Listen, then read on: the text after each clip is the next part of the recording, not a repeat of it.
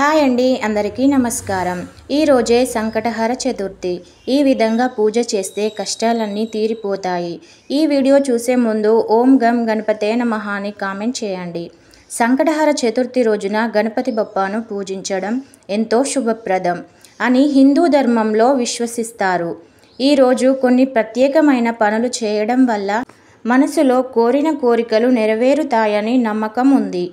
ముఖ్యంగా వ్రతం చేయడం ఉదయం స్నానం చేసి ఉపవాసం చేయడం ఈరోజు గణపతిని పూజిస్తూ ఉపవాసం పాటిస్తే సంకటాలు తొలగిపోతాయని నమ్ముతారు. గణపతి పూజ గణపతికి గరికె పువ్వులు కుడుములు సమర్పిస్తూ పూజ చేయడం ఓం గం గణపతే నమః అనే మంత్రం పఠించడం చాలా మంచిది.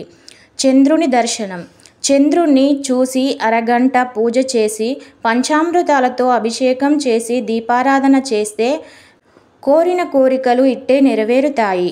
గణపతి సూత్రాలు పఠించడం.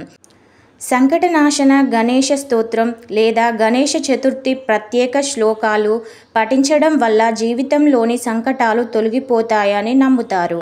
దానం చేయడం.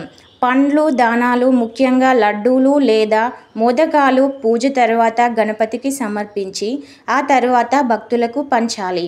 ఈ పనులు భక్తి శ్రద్ధలతో చేస్తే గణపతి ప్రసన్నం అయ్యి కోరిన కోరికలు నెరవేరుతాయని విశ్వసిస్తారు. ఈ వీడియో నచ్చితే తప్పకుండా లైక్ చేయండి. అలాగే మరిన్ని వీడియోస్ కోసం మా ఛానల్ని సబ్స్క్రైబ్ చేసుకోండి.